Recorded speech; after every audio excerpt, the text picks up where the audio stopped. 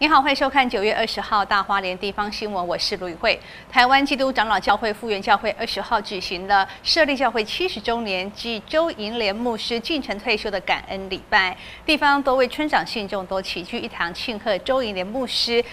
进城退休。首先是以部落长者以主语来进行祝祷，而县长徐正卫也到场和教友们共同献唱诗歌和赞美，献上感恩与祝福。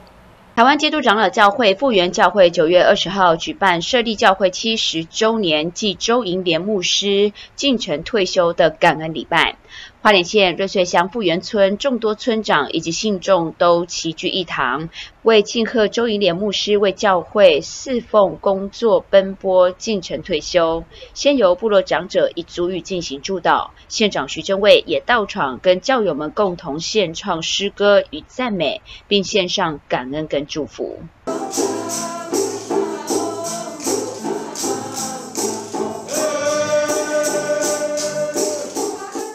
复原教会周银莲牧师在感恩礼拜上真情流露的说：“即便退休了，也永远是神的仆人，永远为信仰奉献服务。”，所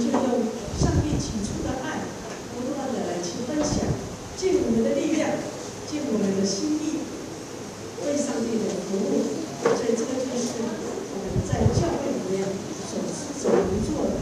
真的是一切荣耀归于徐。正伟表示，愿复原教会持续走向更多的七十周年。复原长老教会牧会周银莲牧师带领部落老人成立莲富有机农场，周银莲牧师带领一群长者回归农田，再度享受年轻时代的种田趣，找到生活的重心。